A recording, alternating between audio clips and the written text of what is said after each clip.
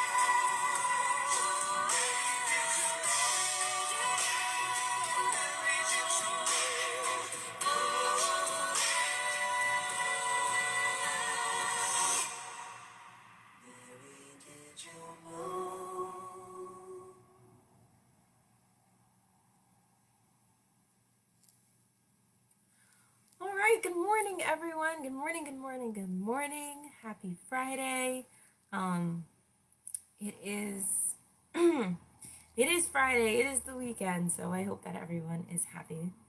Um, today, our word um, for the devotional that we're focusing on is with. Um, so it is with. Also, that song was um, "Mary, Did You Know," the Pentatonix version which is one of my favorite versions. Um, so we're going to be reading um, from Matthew uh, 23 to 25. I'm just going to pull that up.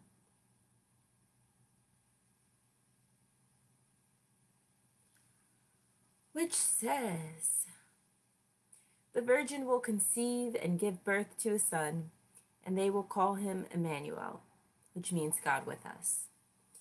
When Joseph woke up, he did what the angel of the Lord had, com- had commanded him, and he took Mary home as his wife. But he did not consummate their marriage until she gave birth to a son, and he gave him the name Jesus. So the devotional says, one of my most favorite versions of scripture is the Life with God Bible. The title is a powerful reminder that the Bible is all about human beings living with God. Little wonder that one of the names given to Jesus is Emmanuel, which means God is with us. What does this mean for us during Advent? Throughout Scripture, God promises again and again, I am with you. Beginning in Genesis, we witness God's living presence with people in all the ordinary and extraordinary circumstances of their lives. Advent reminds us that God's promise became flesh and blood in Jesus Christ. Perhaps we must never again think of the world as being without God. or God being distant and far away. Throughout all our experiences and encounters, God is present with us and will be even to the end of age. Moreover, God's promise, I am with you, comes with an invitation. Will you be with me? With is a powerful word that evokes a sense of connection and partnership. God does not bulldoze over us, forcing God's self into our lives. We can choose to live without God. Adam and Eve make this decision with their devastating choice in the garden, and the consequences of their decision affect us even today. Wonderfully, even though we repeatedly turn our backs on God, Advent reminds us that God never gives up on us and continues to live within us, offering a steadfast love that will not let us go. Advent is a time to remember both God's promises, both God's promise and God's invitation. Let us hear today again God saying to us in our deaths, I am with you. And may we respond by saying to God, I want to live with you. As we listen for God's grace filled invitation and respond to it, we will experience for ourselves the gift of the with life of the with God life. Okay, so um welcome, welcome everyone. If you missed it, we are talking about the word with today, um, and we are going from Matthew uh, chapter 1, verses 23 through 25. Um, and this is this is uh, such an interesting devotional because if you are part of the Bible studies on Monday, uh, we did kind of talk about this a couple weeks ago, and uh, choosing to be with God, choosing to not be with God, and how uh, Adam and Eve did that. So that's uh, pretty interesting if you were part of that uh, discussion. Um, but but yeah, to, to the point of choosing choosing God and how we all have the chance and the choice to choose to live with God. Um, and how he gives us free will, right? And how it's like he sent his son um, to die for us. You know, if if we should just choose him, if we should just choose to walk with him, if we should just choose to be with him. Um, at, but he has already decided that he was going to be with us um, a relationship with God is this you never have to guess that the that the other side of the relationship is there. You never have to guess that it's it's working um, to to keep the relationship intact. That the other side is working to keep the relationship well. We have to worry about our end. Are we constantly choosing God the same way that He has chosen us time and time again? The same way that He forgives us you know 70 times 7 times are we choosing to come back to him 70 times 7 times are we choosing that you know no matter what happens we are constantly choosing to be with god um, and i think that that comes in many many different ways and it's going to look different for everyone choosing to be with god. Um, it could be that you choose every day to to sit and um, to to study the word and and to be in prayer. And um, for other people maybe um, if you're just beginning it could just be to to just say a prayer in your heart and keep moving you know? Um, but i think that posturing your heart towards god posturing your heart towards doing what you feel that he would be happy with doing what you feel that he would think is right doing what you feel that he is calling you to do and where he's calling you to move i think that that is a good place to start in ch- just choosing God. Um, and I think that we need to allow some grace for ourselves because I think that sometimes we can get into this place of if I'm choosing God, that means that I I can never do anything wrong, and if I do something wrong, then God is no longer choosing me, and God is no longer with me if I do something wrong, or you know those times where you know we'll we'll pretty much be on a spiritual high and everything feels great, and then a couple months later it just feels empty and void and it feels like god isn't with us anymore. Um, you know I've, I've definitely had those times where it just kind of feels like uh, i don't know is god still here? But just because just because maybe we don't feel like it just because it doesn't feel like god is just saturating us in the word and he's just saturating us with his love doesn't mean that he isn't doing it um, just because um, it doesn't feel like he's right next to us doesn't mean that he isn't. You know, those times where we feel like we're kind of in a spiritual drought, I think that those are the most important times that we come back and we look at how God, um, Jesus was named Emmanuel, God with us. You know, He came down to earth to be with us because He loves us so much. He's so graceful, so loving that He would come down in human form and be with us. And you know, when that human form went, went away, still did not leave us, still did not leave us, left the Holy Spirit to be within us. So to just remember and to just think about that, like I'm getting excited just thinking about how how much God loves us that, you know, he he was with his goal was always to be with us. If we think about how that happened from um, Adam and Eve, you know, he he wanted to be. He was among them. He was with Adam and Eve. It wasn't that he was somewhere else completely and and then he um ended up that and that's how he wanted it to be. No, he was with them and he wanted to stay with them. But due to human being actions, he could no longer be with them.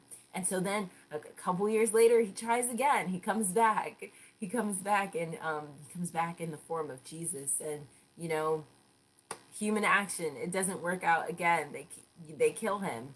Um, but then he tries again, and and he leaves this Holy Spirit within us. So um, let's not repeat history. Let's let's hold on to God with us. Let's hold on to to the Holy Spirit that He left within us. Let's listen to that Holy Spirit. Let's um, let's continue to pray to God through Jesus. Let's continue to acknowledge God in our lives, and let's continue to choose to be with God, the same way that He constantly and consistently chooses to be with us no matter what. Um, no matter what human beings do, no matter what mistakes that we make, no matter what wrong things or bad things happen, He consistently chooses to be with us. And in that same way, I think it's important that we consistently choose to be with Him because a relationship does go both ways. And I think that that's very, very important to remember and to understand. And um, I think that the more that we can commit to God, um, the more that we can commit to each other being kind to one another.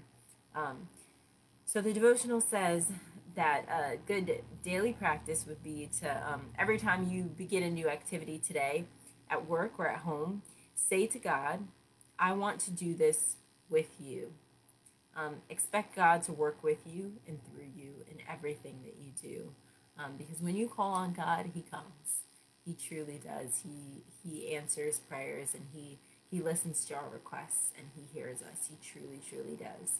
Um, so I hope that that was helpful to you all. I hope that that was um, a, a blessing and helpful. Um, happy Friday. So let's get into a time of prayer. Uh, Lord God, Father God, I just want to thank you so much, first and foremost, for waking us all up today and giving us the opportunity to um, gather here, gather to um, hear a little bit about you and who you are um, and how you have chosen to be with us, God. Um, we're so grateful that you choose us. Uh, no matter who we are, no matter what we look like, no matter what we've done, you consistently choose us, God, and we are so grateful for that. Um, God, I'm just so so thankful for the people that are able to get onto this call. God, I'm thankful for each and every single member of our church family and, and their families beyond that, God. I'm thankful that um, we are all with um, with you and and that we get to be with other people, um, even in this rough time where it seems like some some are without God, I'm grateful that we find ways to, to step in and to communicate and to be there for one another. God, I'm thankful that um, this church community has provided so many ways that we could um, step in and be with one another, even if not physically, but virtually, God. Um, and, and God, I'm thankful for the ways in which you have moved um, throughout this season, in which you are currently moving throughout this Advent season, God uh, God, I would just ask that you continue to move in our lives, continue to let let us uh, shine a light and be the hands and feet of God out in the world. Uh, continue to allow us to uh, be kind to one another, God, to be there for one another, God, to um, provide comfort to those who are grieving, to provide support for those who are celebrating, God. Um, Help us to be there for one another and to be uh, what a community is supposed to be, what a family is supposed to be, God. Um, and I just thank you for everything that you have given us, everything that you have yet to give, it, give us, God. Um, and uh, just help us to be okay with your plan. Um, help us to be okay with your will and where you are taking our lives and um, what you have given and taken away, God. Help us to help us to be okay with it and help us to um, just lean on you and not our own understanding, God, but on on yours. Um, and I would just like to end with the Lord's Prayer. Our Father, who art in heaven, hallowed be thy name. Thy kingdom come, thy will be done, on earth as it is in heaven. Give us this day our daily bread, and forgive us our trespasses, as we forgive those who trespass against us. And lead us not into temptation, but deliver us from evil. For thine is the kingdom, power, and the glory forever. Amen. Um, good morning, good morning, everyone. I hope that you all have a blessed and wonderful Friday. I hope that it's not too cold outside. Um, uh, have a blessed and wonderful weekend. Uh, tune in to church on Sunday, um, Facebook or YouTube, wherever you would like to watch.